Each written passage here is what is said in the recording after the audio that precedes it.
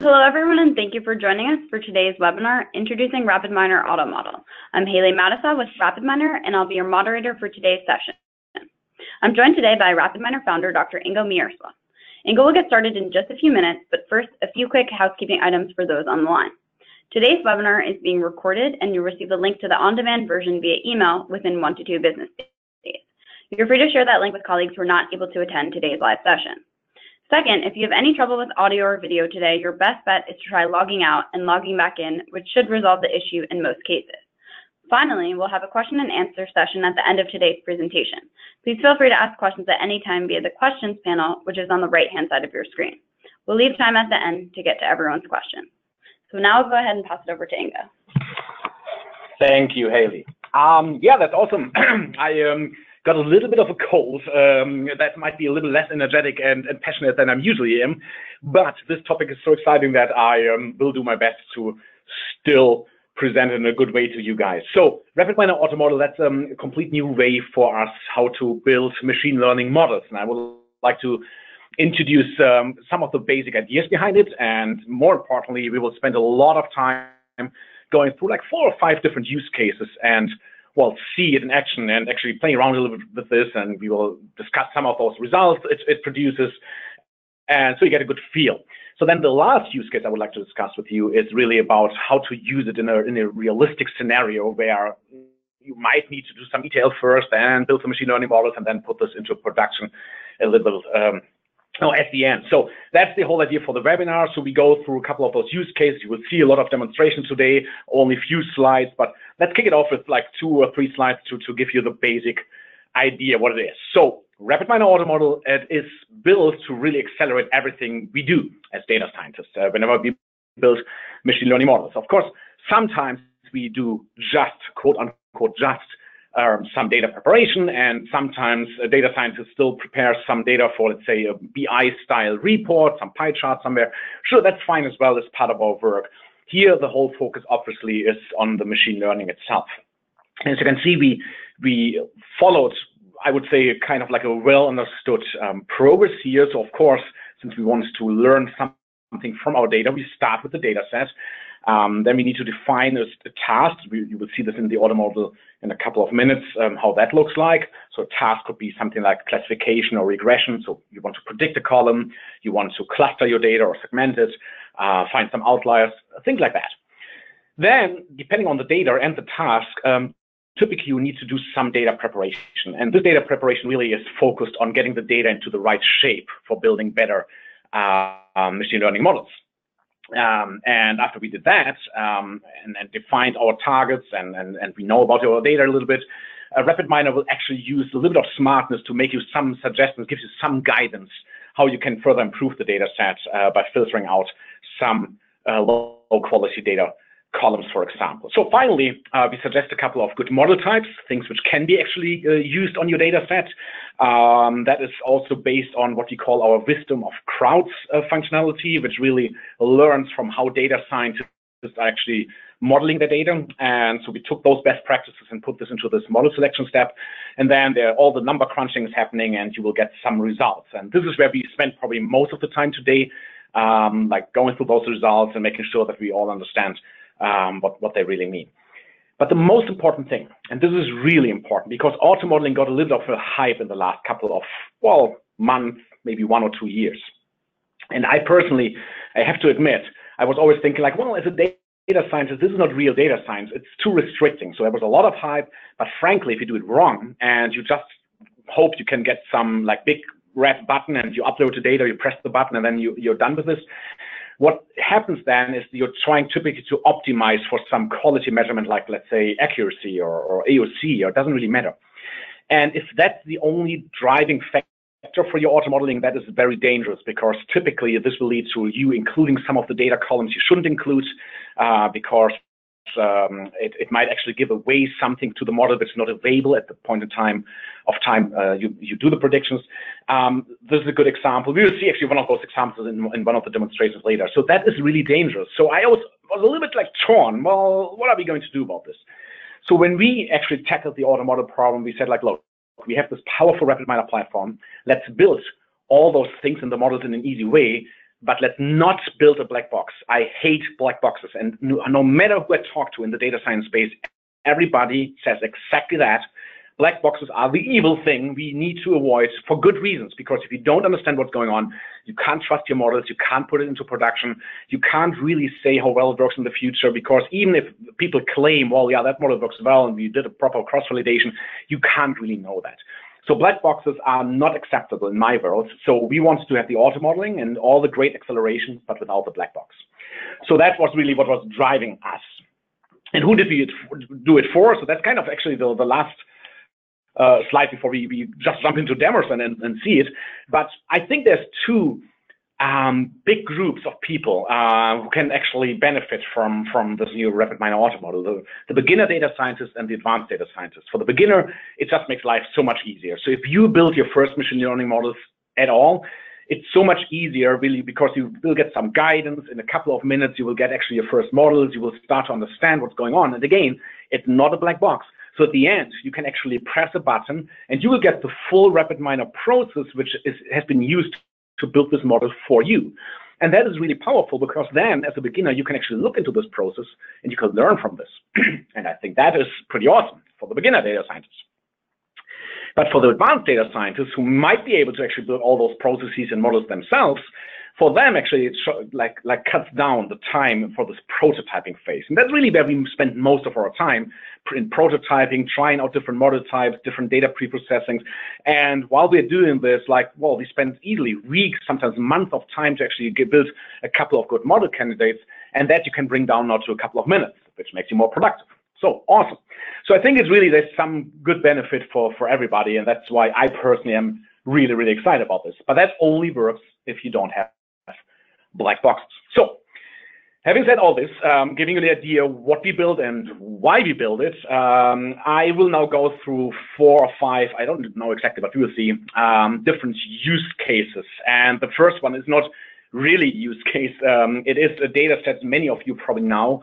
Um, this is about predicting the survival likelihood for all the passengers of the Titanic um, accident.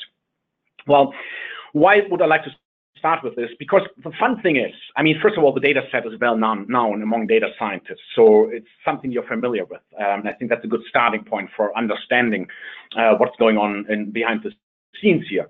But the other thing is, this data set actually comes with all the challenges, or almost all the challenges um, data scientists need to face when it comes to data. There's missing values. There are some columns which are highly correlated with the label, which is actually in this case a negative thing. There is um, some columns which are completely meaningless or ID-like columns. You need to deal with all of those those problems. So we will actually do this and learn something about the auto model and the results first, and then from there we move to some more, let's say, realistic use cases. So let's actually switch over to rapid RapidMiner so here it is. Um, well, that's the usual RapidMiner, uh, as, as you know it. And there's actually a couple of different ways how to get into the auto model mode.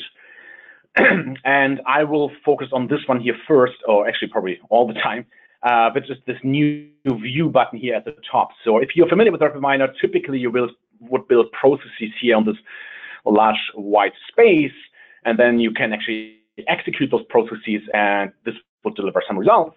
But here is the third option now, which is called auto model, and that's uh, where we get started. So let's actually um, follow those steps. And you see here at the top, at this progress bar, those steps are really very similar to what I just have been showing you on, on, the, on the slide. So we start with selecting some data set. Then we will define the task, prepare the target a little bit, do some filtering, and then do some model selection, or not model selection in the optimization sense, but um, we'll get some recommendations for models we should use, and you can override them if you want. And then last but not least, um, we will um, uh, inspect the results. So it always starts with, in, in RapidMiner, what we call a repository. And if you want to learn more about what all those things are, you can have a look here in, on the right side in this information panel. But the repository is really the place where we store basically everything, data, processes, models. The data can could come from a database, a local database, or some other database. It could come from some server repositories from the cloud. Um, in our first case here, I actually have this um, repository called Auto Model Demo here. And there's a couple of different uh, data sets, and here's the Titanic one. And if I select it, you see some basic information um, here on the right side. So it's a relatively small data set, 1,300 rows, 12 columns or attributes as we call them. And here you see uh, some properties of the data. If it's not in a, a repository yet, well, there's all the usual ways to get the data into the repository. You could import the data. You can even do it from here by clicking this link up here. Um, or in the design view, you can even build complete ETL processes um, to actually get the data into a repository. That's not the topic for today's webinar, but, but there's a lot of options there. All right, so we selected the data and press next. On the next screen, we see actually the data. And as I promised already before, there's all typical problems. So for example, here in this column, you see there's a couple of uh, missing values. Uh, there's missing values also for some other columns here. Um, we have our 12 columns here, and one column is of specific interest, which is the survival column here on, on the far right. This is the column we would like to predict based on the other columns, okay? So that makes it a prediction task. And I clicked on this column already, which actually selected it, and also selected here the predict uh, task. I could also do segmentation or outlier detection. We will do this a little bit later. But if you actually do a prediction, then obviously you need to select a target column below. Um, and only then you can actually continue and press on next down here. So let's do that. So the next step is about preparing the target, and that depends on A, if there is a target. So for example, for clustering, there is none, so you, would just skip the step here. Or um, if it's, for example, a numerical column or an, a categorical column, in this case, we have two different classes, yes and no. Um, you could, for example, map those classes to new values. So if you like, you could call this here now, I don't know, uh, uh, false and true. And uh, that sometimes makes some sense to actually rebrand those things. Um, yes and no is totally fine with me, but there's another thing um, for selecting the class of highest interest. So for, especially for binary uh, classification tasks like this one here, um, often it's one class is more interesting. So here, for example, I would really care a little bit more about survival than about dying on the ship. So that's why this class of higher interest for me, and I would like to my models to focus on this class. Um, in, in other cases, for example, for direct mailing, uh, the response class would be more interesting than the non-response class. Or for churn prediction, typically you're more interested in, in, the churn case because you want to do something about them. So there's actually some heuristics and smartness built in. So RapidMiner actually guesses uh, which class was probably of higher interest. And in this case, it correctly guessed that the yes class here is, is the one of higher interest. So anyway, so in this particular case, I don't actually need to do anything. So I can just go on with next. So sometimes for larger data sets, this calculation you just might have seen up here um, might take a couple of, of seconds, maybe even a minute. And that's because we calculate a lot of what we call like quality measures in the background. And those quality measures actually are shown here on the right side of this table. So now every column of our data gets uh, one row here. Um, so we have the name column, the ticket number, the cabin, and so on. And those columns have different properties. And you see that those quality measures actually now are transformed into a traffic light. So obviously, if something is green, that's a good data column. You should keep it in, in your data set for modeling. Everything looks good. And that's true for all the columns here at the bottom. If something is red, obviously something is wrong. And if something is orange, well, at least you should actually, or yellow, you should actually have a look into this, okay? So like a traffic light, really. Pay some attention, but maybe it's still fine to, to drive over the traffic light and, light, and that's the same is true here. So let's start with the red.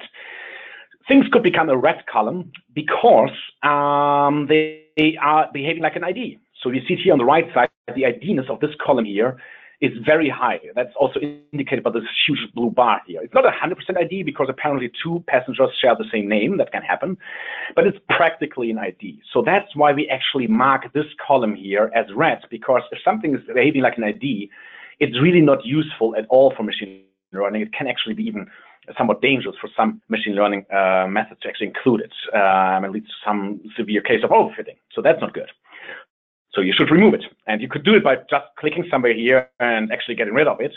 Or you could just later on, you will see it actually just click on deselect red here, and then everything red is deselected. Okay. Um, so let's just select them for now uh, again. So then the tick number, same story here. It's not exactly as ID like like in um, like the name, but it's pretty high. So again, it's red. Cabin is interesting. It's red as well, but apparently not because of a high ID Cabin is red because almost 80% of all the values indicated by this red bar here are missing. So practically there's no information in this column. So again, it's a good idea to get rid of this. In general, a good practice is to just get rid of all the reds. Sometimes though, you want to have a second look. Um, that's why we don't deselect it for you. We give you the guidance and you can make the ultimate choice. But if you have hundreds of reds and you just want to build quickly a first model, it's typically a good best, best practice to just deselect all the red ones. So now the yellow ones are interesting. Lifeboat here. It has a lot of missings, uh, but not quite enough to make it a, uh, uh, like, a, like a red one. But it also is highly correlated with our label column survived. And that actually sometimes is a good thing. Sometimes that is those columns are the most helpful ones for your predictive model. But in this case, I would actually suggest to remove it because of this high correlation. Why? Because the lifeboat information, it is not available to you at the moment of time where you can actually do something with the prediction. So think about the Titanic accident. It's 1912. Like you're on a boat somewhere in the like like 500 miles or whatever away from Newfoundland there is not much you can do. I mean, you can't take out your cell phone and call a helicopter to the rescue. So at that moment, actually, your fate is sealed. So the last moment you can actually do something is, for example, when you're boarding the ship. And at that moment, you don't even know if you will make it on the lifeboat or not. So the lifeboat information should not be part of this data set, to be honest. Um, that's one way of seeing it. Um, or you should actually predict who makes it on the lifeboat in the first place. So this is exactly the reason why, like purely automatic magic wand like red button solution where you just upload the data, press a button, and hope for the best are not acceptable in my world because you want to get this information, this guidance to make an educated decision, but you still need to be in the driver's seat because an op- completely automated approach would basically just include the lifeboat because it will generate better models. And that would be the wrong thing to do because later on, when you put the model into production, it will actually get worse. So long story short, I, I, think this thing is extremely useful. That's why I spent a little more time on this uh, for this one here. But in this particular case, deselect all the red ones, deselect the yellow ones, uh, but keep all the green ones. That is actually a good data set to work with. So the next step now, RapidMiner suggests a couple of good models for you. So there are general models like this one here, like correlations between the columns or importance of columns. They're not really models, but, but still give you some interesting insight into your data. And then the actual prediction models, and we pre-selected a couple of those for you, depending on the data types, the, the, the target you have, the data set size, and all this kind of thing. So we actually make some suggestions based on this wisdom of crowd data we have, uh, what you should probably use. And then everything from very simple models like Naive Bayes and, and linear models. Of course, logistic regression is here as well. And then let's say deep learning and some tree-based models like decision tree or even gradient boosted trees. Okay, so everything is in there. In this particular case, let's just do it all and let's run it. So while it is running, the first thing we see is the data itself. So this is the prepared data. So after it went through the cleaning processes, um, we see the data here. And the number crunching is happening in the background, which is indicated here at the top. And while we do the number crunching, let's actually go to this overview tab. We can actually already inspect some of the results. So, so far, for example, we see that five out of the six models already have been calculated. And the deep learning model so far has delivered the best accuracy of almost 81%. But it also was running for some time. I mean, it's like five, six seconds actually of runtime. So let's see how the gradient boosted trees are going to, to perform. But definitely one thing is for sure already, they will take much more time. So again, while it's running, let's actually have a look into some other uh, results. So let's skip the ROC comparison for now, but um, let's, for example, look into the models themselves. So here's a naive Bayes model, which already has been calculated, and you can inspect those models now. You can actually have a look how well how much age influences those two classes, or let's say the passenger class. So you can definitely see that first-class passengers definitely had a higher uh, chance of survival than, let's say, third-class passengers here on the right. Okay, so there's um, there's those models here. Nice. Let's see if this actually finished. Nope, it's still running. Well, while it's still running, let's actually have another look into what we call the simulator. And this is another super exciting thing, which is uh, not, let's say, directly connected to the to the auto model, but it's one of the new features of RapidMiner 8.1 as well. Um, and it's really, again, in the spirit of no black boxes, it actually helps you to understand those very complex machine learning models in a better better way. So think spotted uh, deep learning neural networks. So for example, here, the model is kind of like, well, you can't really read it and understand something. I mean, for a decision tree, it's kind of easy. Uh, you can actually look into the tree and you will understand something. Naive Bayes, again, you can understand a little bit. But for deep learning, gradient boosted trees, those models are more complex. You can't really understand them. But the simulator actually changes that. So with the simulator, you can actually inspect those models and play around with the inputs and see how the model behaves.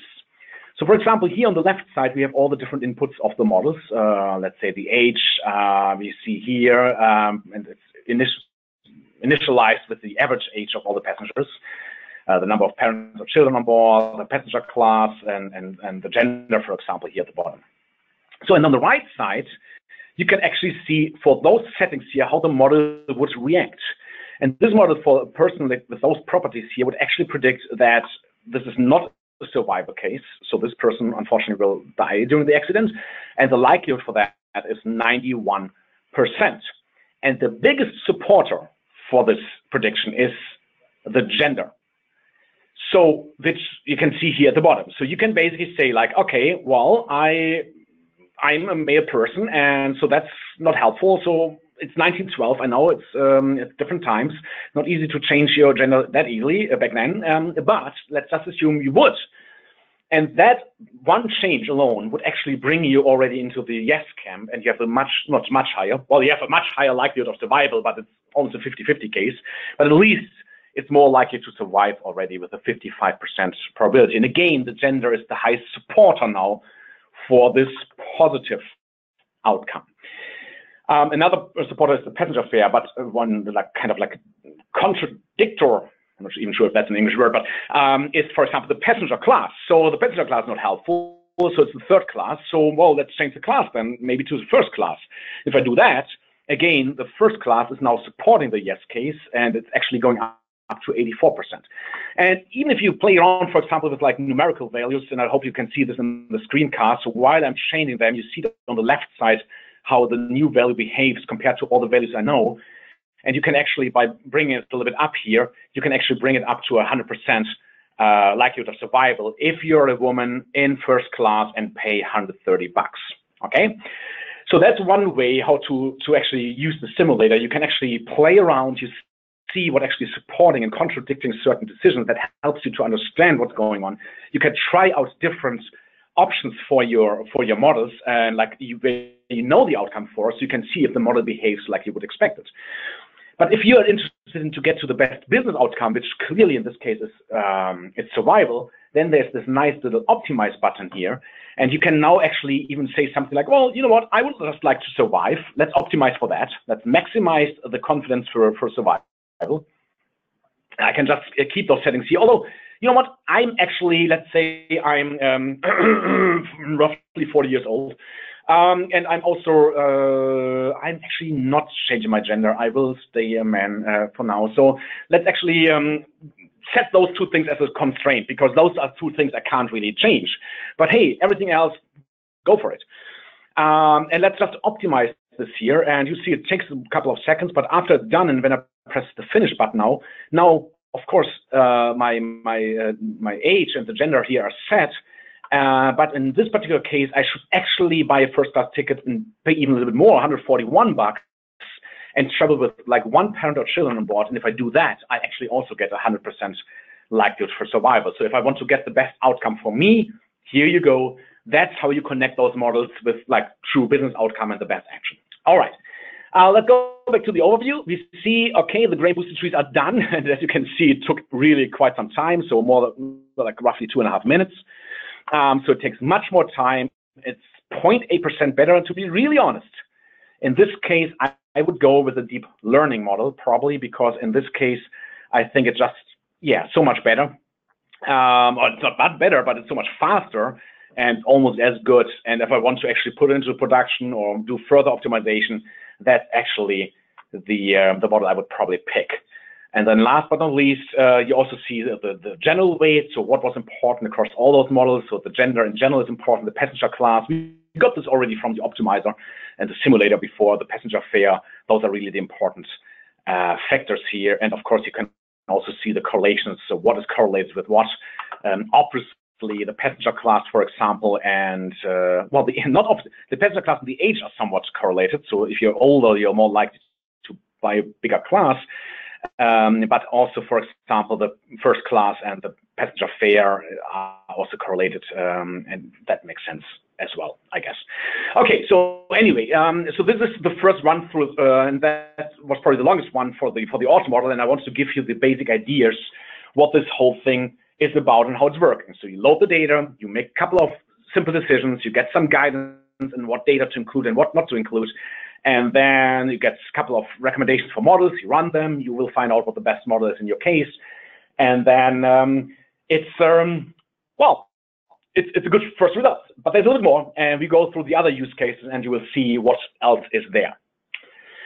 So next use case is about prediction of heart diseases. So in fact, I was a bit shocked when I was um, looking recently into what is the number one cause for death um, in, in North America, and it turned out that um, I thought, think it's called uh, cardiovascular diseases. Um, this is actually the number one reason for people dying. Um, it's even more than cancer. I mean, even cancer, which is the number two reason, is um, not causing as much uh, the death and, and, suffering than, than cardiovascular diseases. So that is really an important topic. In fact, um, alone in the United States, almost 30 million people are diagnosed with heart disease. Um, that's uh, that, that's I think roughly 10, 12% of, of the whole population. That's a lot. Um, so long story short, in, this is an important topic, and I, I, have no medical background whatsoever, so don't ask me now about the findings we will find, but that's exactly the exciting thing. So let's actually run this through the auto model and see what we can learn. All right, so back here, uh, let's just go back and select the different um, data sets. Here we go, the heart disease data sets. Uh, you see there's a couple of different attributes here, the age is another one time here, the gender as well, but then a couple of like medical things. Let's just go to next. So since this data set was already stored in the repository with information, this is a label, the auto model already picks this one up and says like, okay, let's predict this column here. And it can, of course, change that if you change your mind. But uh, we want to predict if somebody is going to suffer from a heart disease or not. And here's all this kind of different information and have really no clue what this all means. Like, well, probably the only thing I do understand is resting blood pressure, uh, but that's kind of it. All right. So again, I'm not a not a medical doctor, so I don't know, but we can just go through um, through the process here. So here again, we don't need to make any changes.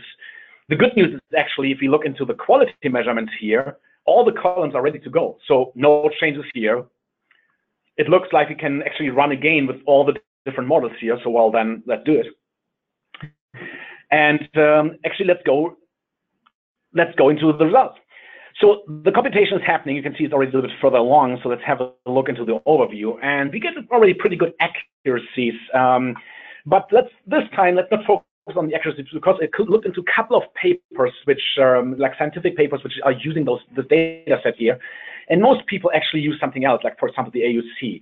So in here, left to the of the table, you can actually change what is the uh, performance measurement you're interested in. So the area AUC, which is also the area under the curve, and you will see the curve in a second. Let's actually optimize for this. And you see that the general linearized model actually has an area under the curve value of 0.9, which is already pretty high actually. Plus, it was kind of fast with like 300 milliseconds, so that looks good. So that's a good result here. That is this model here, the second one we calculated. Um, so far, by the way, it's also, I think, it is also the most accurate one. So that looks good. So let's um, let's keep this in mind. Let's also have a look into this ROC comparison. Those are those ROC curves. Um, and I'm not explaining what exactly it means, but what the important thing is visually, what you want to achieve with your models is to, you want to go as far to the top left corner as you can. So this decision tree here, which is the green line, really is not performing very well. So forget about them. Um, so just the last model just came in, and as you can see, the uh, greenish one here, the GLM is pretty good. Um, uh, this is one, this is this yellow one up here, but the blue one here, Bay is actually doing quite well as well. So have a look again. AUC, yeah, GLM, Naive Bayes. This is basically the area under those ROC curves. Um, they are pretty good.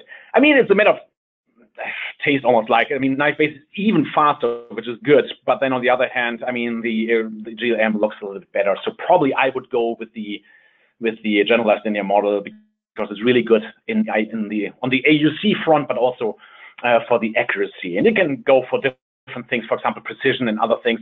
And the precision, by the way, is using this class of interest. So this is the precision which has been calculated for the class. Yes, there is a heart disease. And you can actually see this also if you go here into the detailed performance. So for every model, you have those different results. So if I go for the precision here, you see the positive class here is yes, that is the class we selected earlier on as the class of higher interest. All right, so um, let's have a look uh, quickly into two more things. So decision tree model here, again, you can visualize this. So here, for example, the no cases, there's a nice path going here. The yes cases seem to be a little more difficult, but this one here pops out. There's one path which uh, seems to be covering a little more. Yes cases, the same as here. You can see the width of the bar. So here's two paths for like for for yes cases. You can actually inspect it here. You're not doing the simulator again. Uh, but maybe another thing to point out, we did some automatic optimization of parameters. So for example, here we figured that uh, um, the maximum depth of the of the decision tree should be 50, and that actually delivered the best models here. You can also see how well the other uh, parameters perform. But then on the other hand, the decision tree really haven't been that great after all. But you get the same result, for example, also for gradient boosted trees. We get all the models here. In this case, obviously those models are a little bit smaller, so the maximal depth of only two uh, was actually performing best. But then on the other hand, you calculated 60 of those trees, and that delivered the best performing model. But all those three models actually haven't been as good as the GLM. So after we figured that one out, what can you do now as the next step? And this is probably the one thing which excites me most about AutoModel because I can now press this little button here, open process. I can do this for all those different results. You just select some results you're interested in, like the GLM model here. I can then press open process. And if I do that, I will get, let me actually make this a little bit bigger here. I will get the full process which has been created um, or which has loaded the data set, which did all the data pre-processing, created the model, did the parameter optimization if necessary. In this case, there was none, but um, and created all those results. So starting with actually um, the data loading, so all the parameters are pre-selected. We do the right pre-processing here. So there's a lot of things like like um, discretizing label if you should or removing some of the columns. So this is all predefined, handling missing values, everything you need to do to actually make this model work, do the correct validation, everything else. And if I run this process now in RapidMiner, I get all the results we have seen before, like the GLM, the performance values, so everything we have seen before, um, we get here again. Um, and you can use this as a starting point. You can learn from it. As I said, for beginners, that's a great way to learn how to build great models. But for a more experienced person, you can also make further optimization, or the, for the last use case, we will do this, we will actually turn this um, into a scoring process, which then can be put into production. But before we get there, so first of all, no black boxes. You can always understand what exactly is going on there. And I think that is the important part here. All right, so before we do the real use case, uh, one last fun one. Um, I'm actually not that much of a wine expert, uh, to be honest. Uh, coming from Germany, uh, like I mean, I know there's a lot of great wines coming from Germany, but it's more like a beer drinking country, I guess. Um, anyway, so um, I at one point uh, got hands on this uh, wine data set, and I find it really, really exciting from a data science perspective. And maybe one day I will just try all those different wines as well from a wine drinker perspective, but maybe later. So for now, all we know is that we have a, a data set with a lot of like, um, well, sensor data is probably not the right word, but like people did like a chemical analysis for all the different wines, and then some experts, certainly not me, assigned a, a quality score between one and six to all those different wines. And now, obviously, the first question could be, can we actually predict what those experts would think about a wine based on the result of this chemical analysis? All right, so let's go back to the auto model, um, and let's start with this data set. So here, I have this in two flavors, one a classification task, but I would also like to show you a regression problem. So here, I take now this uh, numerical um, quality measurement. Here is this column, and I would like to predict this. So, so far we have been seeing classification tasks, and actually only binary classification tasks, but it works also for more than two classes. Here now we predict a number, which obviously is a regression problem. So let's see what happens. Um, first thing we see is a small difference. We see a histogram. Since we only have six different discrete numbers, you could almost argue this is borderline a classification task itself, and that wouldn't be wrong. Um, and let's save this for a little bit later, but you can also turn this now into a classification task. But let's do this a little bit later. So I can actually go on here. Again, the data set already has been prepared by somebody else, so it's all good. We can actually keep all those measurements. And then for the model type, they changed a little bit. So there's obviously no logistic regression because despite the name, it doesn't work for anything but binary classification tasks. Um, but uh, there's a couple of the other models we have seen before as well. Uh, there's no naive Bayes, and of course we have the GLM and, and others. Okay, so let's run this. Oh, um, yeah, okay, let's let's just run it. It might run actually a little bit longer than I wanted because the auto optimize for this data set will actually take some time. Um, anyway, so first of all, we get the data again, um, and we get some overview here. And you see already like random forest, gradient boosted trees, they will actually run like for a minute or two, but whatever. I, I'm explaining the rest to you anyway. So you see the root mean squared error, which is a very common regression measurement, but um, it's often hard to interpret. So I like kind of things like relative error a little bit more because that tells me like, oh, sure, we are like on average 12% off with our predictions, which seems to be pretty good already. So, so far, uh, the GLM again is doing a pretty good job on, on this data set again. So I can have a look into the details here. And even more important, if I look into the simulator now, uh, the simulator now is not giving us classes, obviously, but it gives us uh, numerical predictions. So this here, this, this, wine, which actually uses all the average values as input, also gets an average rating. That shouldn't be probably super surprising. Um, so if you do an average wine, you get an average rating. I mean, that kind of makes sense. So and you can play around. So for example, sulfates and, and alcohol, um, they play some important roles. So let's maybe change, where's the alcohol here at the top?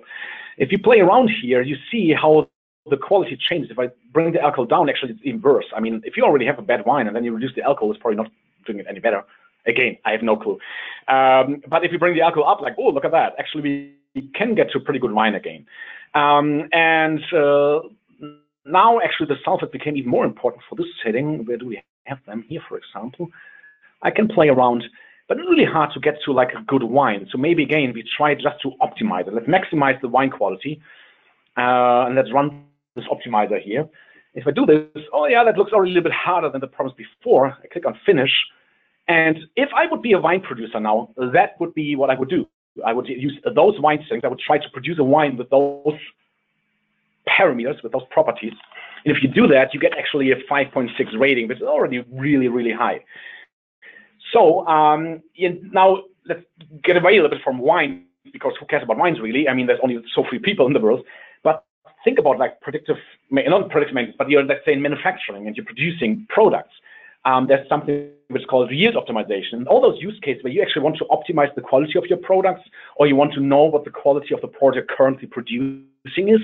So here you can actually now predict it, and then, for example, try to change the process settings so that the quality is becoming better at the end for the final product. Or sometimes the best outcome might be, well, there's no way to actually make the product any better, but it won't survive our quality standards. So let's, let's not put additional um, manufacturing steps into this because frankly, it, it won't be good enough. I can't sell it.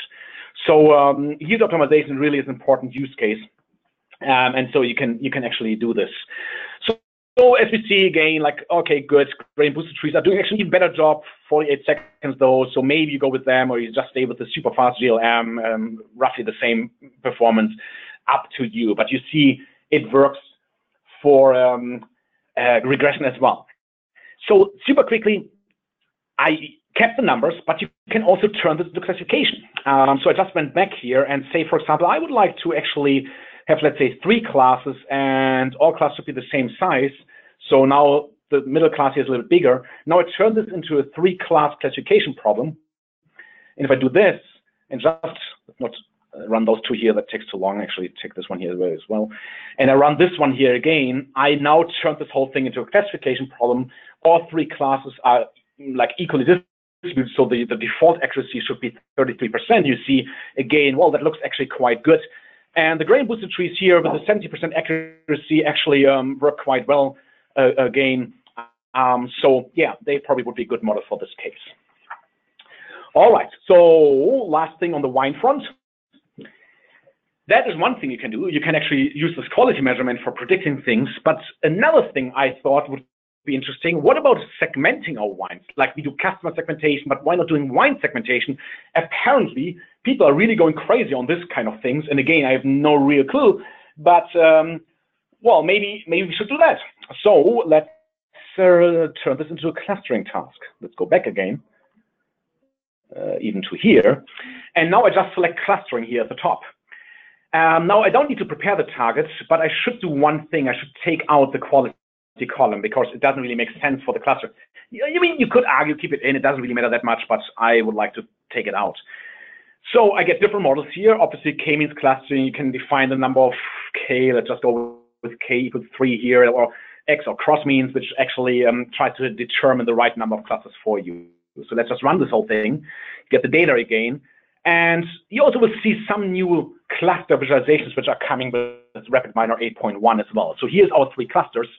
One cluster is really tiny. That's not really a real cluster. That more looks like more like an outlier cluster, to be honest, um, with only 40 uh, different wines. And keep in mind, those are all red wines, by the way. And then we have two larger clusters, almost a thousand wines and 600 wines. And you can see what is typical for those different clusters here. It's even easier to see it on this heat map here. So for this cluster here, for example, cluster two, uh, we can see that actually the acidity and is, is higher, while for class uh, one it's actually lower, but uh, some sulfides are a little bit higher and, and some volatile acidity, whatever that means now, is a little bit higher as well. So you see what actually makes the difference between the different clusters. Same is true for cross means. Here, cross means identified four clusters in total, again with one of those outlier clusters. Um, if I look into the heat map again, I get a couple of more columns here, which are the differentiators for the clusters, but but it's easy to interpret here what those different things actually mean. So here for cluster two, oh, it's the outlier cluster. That's not super interesting. But but here, let's say again, the sulfur dioxide. That's probably totally wrong pronunciation, but who cares? Um, that's uh, like much larger for this cluster here. So another thing I like is this scatter plot actually. So here you can click on the different clusters. Let's start with cluster zero. And you see now the two most discriminating factors for this clustering, which is in this case the citric acid and the total sulfur dioxide. So this is actually what helps us to differentiate the blue cluster, which is here at the bottom left, the best. And that's now a little bit interesting. So it's low acids, low sulfides. And by the way, um, the sulfides, they are typically added to actually um, have more preservation mm, for the wine. Um, that often is done for wines or which have low tannins. Um, so if you need to add a lot of sulfites, you don't need to add that much sulfites if the wine has more tannins on its own because it has its own preservation uh, capability. So low acids, low sulfites, which means higher tannins, low acid, higher tannins. Those typical wines are like Cabernet Sauvignon, especially from warmer climates. Again, I have not really any clue, but but those are the wines which are here in the top, uh, bottom left corner here. If I uh, go in cluster one, this green cluster here, which is here to the top right, they have higher levels of sulfur um, and all kinds of sulfur. So that means they have lower tannins. So those are like Pinot Noir, Grenache, maybe some Merlot, and, and this kind of wine. So they are up here. Cluster two are just outliers, so you cares. Cluster three here is again to the top right, this red cluster here. They have high acidity, uh, high um, wines with like high acidity, like some Syrahs or Pinot Noirs, especially for cooler climates. Those are the wines which are in this cluster. So you can really find those clusters, and actually it's easy to interpret them as well. All right. So the last thing uh, for this webinar is now to show you how to embed this whole auto model thing in a more realistic scenario. Um, so, and what I'm doing, what I, I, mean this more realistic here that typically the data is not coming in one nice table already, so you need to do a little bit of ETL before, and we can use RapidMiner Studio for that. Uh, let's not go crazy today because again, that's not the main focus, but I would like to give you the idea how to do it. Then you do the auto model and then we use this model for predictions. So use case here is churn prediction. Um, so can we predict the likelihood for customer churn for each of our clients? Um, so let's go back into this and actually have a look into our data first. So actually start with a brand new process here. So if I go into my churn folder here, you see that I actually have like a couple of different data sets. So the first data set here is what I call, actually, let's close all those results so we're not getting confused. Okay, so the first one here is this churn data. If I do a double click on this data set, you see basically we have a customer ID and information if they churned or not. And for most of our customers, actually further down here, we don't have this information um, because, well, we don't know yet. So um, that's exactly what we would like to predict. So then we have some customer data. This, this is just basically like base information, like what kind of contract do they have, where do they live, in what state, what's their phone number, and stuff like that. Okay, so some basic information. And then we have transactions data. So transactions data here means like, hey, how many messages did they send? So this is a telco data set. How many uh, minutes did they talk during the day, during the evening, during the night, etc. So there's a couple of like transactional information as well. So those three data sets, they all have an ID, so we need to bring them together. And in the interest of time, I'm not building this process now, but I will just load one, which is this one here. I basically retrieve those different data sets and I just use or join operators. I mean, like, honestly, it's that, that simple as that. Since we all have IDs, in this case, there's not much more to do. You take the first two, you join them, you, you join this result with a, with a third data set, and then you store this whole thing uh, under the name results complete data, which is this one here. And let's just quickly run this whole process. And this is the total result here. This is my data set now, and everything is joined together. Of course, sometimes you would need to do some aggregation, some pivots, and all the other stuff. And there's like literally hundreds of operators in the RapidMiner toolbox for you to, for doing all the data blending and data cleansing, like to your heart's content. Again, not the topic for today, but typically or in many cases, you need to do a little bit before uh, or you have somebody else do it for you if you don't know how. Um, but then at the end, the result is stored in this repository, and you can basically there's another way you can right click here on this results and click on auto model, which brings up the auto model screen with this data set pre-selected. So here it is um, uh, the, the data set we just generated, and we can basically move on. So here we have our data, and this is our churn column, so we'd like to predict it. So I'm going a little bit faster through this one now because you saw it a couple of times. Again, RapidMiner guessed correctly, yes, it's the right class here. We have a bit of data quality issues here. Obviously, there's the ID column, which has a 100% ID score. That one has to go.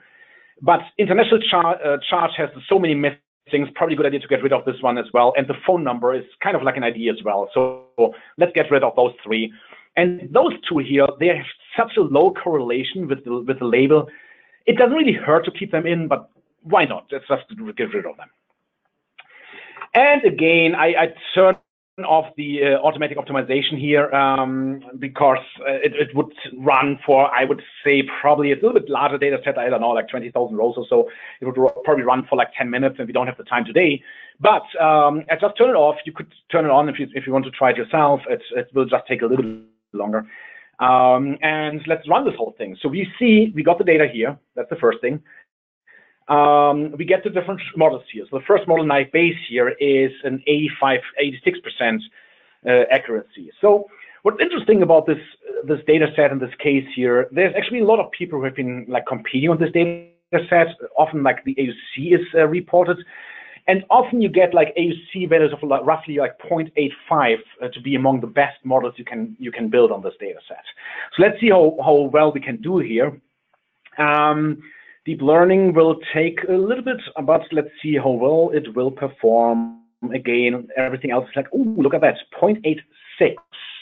So again, typically the best models are around 0.85. So yeah, it took 20 seconds, but it's also re really doing a good job. So if you go into the ROC comparison, you can see actually it really stands out here. And even with automatic optimization, um, like the gradient boosted trees or random forest wouldn't do any better. So deep learning really kills it on this data set. So fine, let's um, let's probably go with this.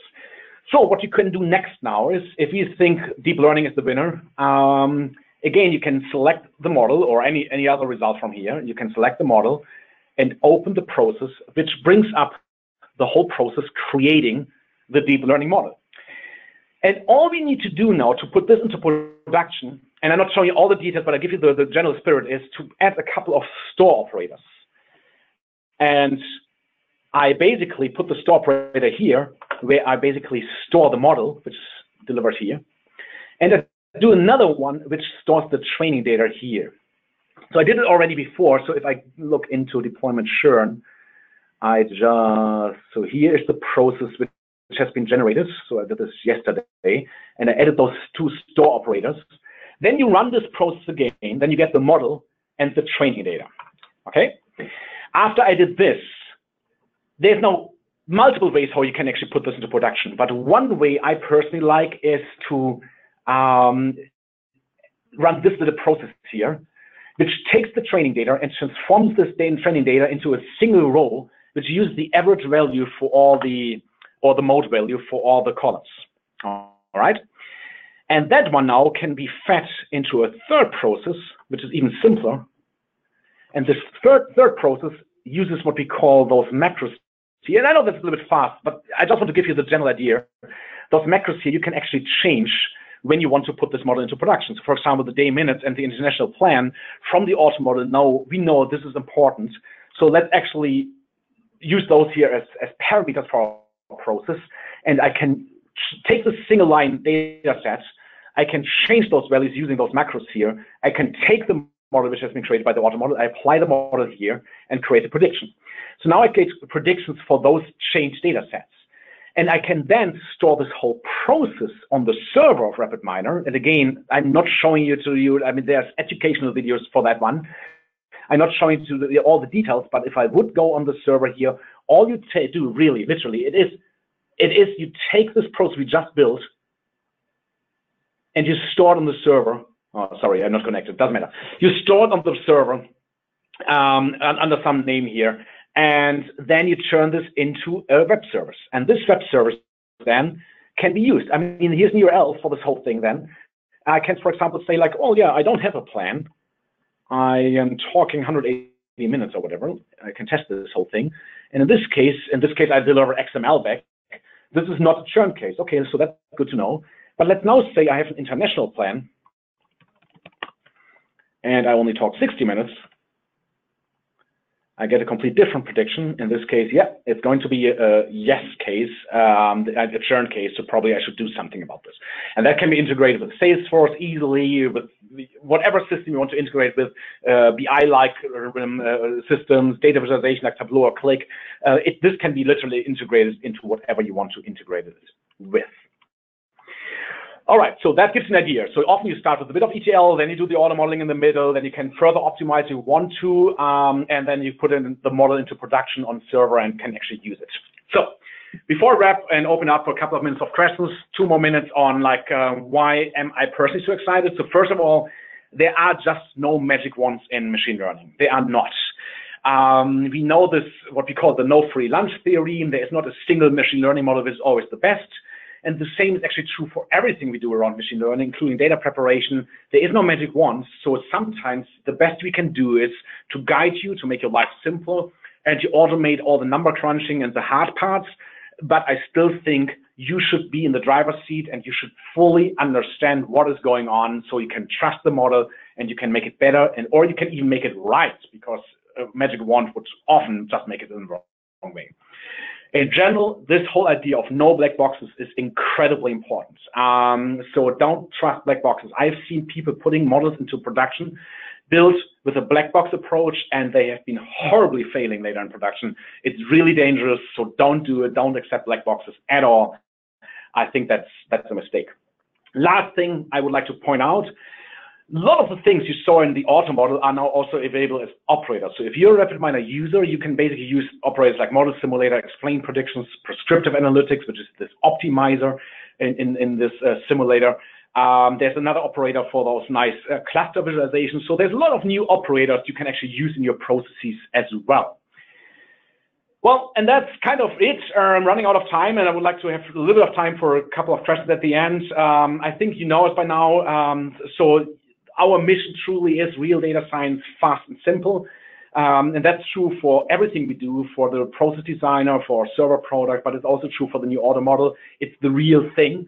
It's just as fast and simple as it can get. So that is really important for us that we're not compromising on, on results, completeness, correctness at all. It stays the real deal because otherwise there is no way that you could be successful in your data science approach. And that's really what um, this is all about. I want you guys to be as successful as possible with um, your favorite data science platform. a little bit biased, maybe. All right. Um, I'm not going through the key takeaways really for a long time. Um, it, it's, it's, it is the auto model is a true accelerator uh, without the black boxes.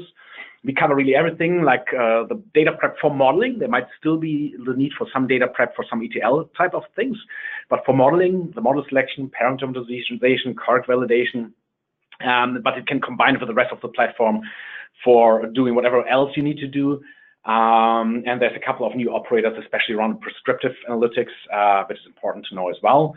And then the very, very last thing, it's available for everybody in March. Uh, so like in, in March, we start our March Madness month. So whoever actually downloads RapidMiner for the first time or whoever uh, even is already a RapidMiner user, everybody will get 30 days of auto model for free and go crazy with it. Um, I think you will like it. It's, it's really an exciting new addition to the platform. And with that, let's open it up for questions. Great. So thanks, Ingo. As a reminder uh, to those on the line, we will be sending a recording of today's presentation within the next few business days. Um, so feel free to share that with colleagues uh, and if you weren't able to attend the full presentation today. So like Ingo said, now it's time to get your audience questions. Uh, so I'll start out with the first question I see here. Uh, the first question is, is there a restriction on the size of the data set that's used? Um, no, not really. So you can actually throw as much data as you want um, at it, but uh, in most of those processes, and you will see when you open up this black box and, and, actually look into the details, there might be some sample operators for um, for ensuring that this thing actually will get to an end. So, for example, running an auto-optimized gradient boosted trees on 10 million data rows will take weeks maybe. And nobody wants to wait for so long, so we embedded, embedded some sampling um, so to guarantee that yeah, you will get some good results in a reasonable amount of time. So typically, if you need to wait more than a couple of hours, um, that's borderline suspicious. So it should actually deliver some results, let's say at least within 12 hours to you. Great, thanks. Uh, another question here, in the model recommendation step, can the user select specific model to test uh, in the list to run in Auto Model? Yeah, good question, actually. I um, I never deselected something, but um, that is really what uh, what happens here. So you can you can actually say like I, I don't want that, um, and and select whatever you want to to do. Um, yeah, that is something you can do. Um, but you can't add anything outside of those which are provided to you. And there's a bit of a guiding function here. We, we don't want to, people to go crazy and throw models on their data which are just not compatible. That might be something for some expert users we might want to add later. But at this moment, it's kind of like a pre-selected set based on the data properties, and you can select or deselect them. And if the data set is really large, they will actually be automatically deselected, but you can override this if you have more time to spare. Spend. Uh, great. So another question is, this person's asking, um, is it going to tell me how much time it's going to take before um, auto model run? Um, yeah, kind of. So that is really, this is such a, like, although we're in the prediction business, this is so hard to really predict exactly how long the modeling will run. It, it depends on so many things. Um, and and um, we don't know exactly how long it runs, but when we do some heuristics in the background, and whenever um, you actually try to use a model on a data set and we think it will actually run for longer than roughly 12 hours, we at least give you a warning. So you will get some huge red warning and it will be deselected automatically. So um, you can still override this, but then be prepared that this might run actually for quite some time. Great, thanks. Uh, another question here, this one probably for everyone. Are there tutorial videos available on auto model? Is there any documentation or anything? Oh yeah, oh, oh good, yeah, excellent question really. Um, yes, there are. So if you go into our learning part of our website, um, there is two, I think, great videos on uh, from our education team. Um, showing you exactly how to use it, like in, in take much more time than I did today. I want to give you the, the overview, but there's really like a step step-by-step approach and you can just follow along on some of the data sets. So yeah, they're, they're available, two nice videos. And then there's also some documentation page. And don't forget, there's a lot of information here on the right side. So just start it and read through this. So that might be helpful as well. Great. Uh, looks like this might be the last question due to time, but this person is asking, once you have the results and select the best model, what are the next steps to test the prediction on a new data set? Yeah, I, I kind of showed it to you um, super quickly, so this question might have been coming in before I actually showed it, but um, so, so first of all, um, we at RapidMiner take a lot of pride in doing model validation the right way. So, so like trust us when we say 86% accuracy, it's going to be 86% down the road. But of course, it's always the right approach to actually um, use like another independent test set to see how it's or validation set to see how it works. So um, yes, so the process I've shown here is, is like a simple way of how you can do this. So you can basically take the process which has been generated by AutoModel, then you store the model, then you can basically, for example, feed the new data set through all the same uh, pre-processing steps, and then you just at the end add another apply model. So I was kind of like doing this in two separated processes, but but that is relatively simple. Of course, you would need to learn a little bit of RapidMiner Studio for that, but trust me, it's worth doing it anyway. So um, it's it's not the hardest thing in the. It's like playing with Lego or something like like those little building blocks and, and playing around. So um, should be fine. Great. Um, so it looks like we are a few minutes over. So um, there are a ton of questions coming in. So apologies if we weren't able to address your question here on the line. We will follow up with you via email within the next few business days with an answer to your question. Um, so thanks again to Ingo and thanks again everyone for joining us for today's presentation. And we hope you have a great day. Bye.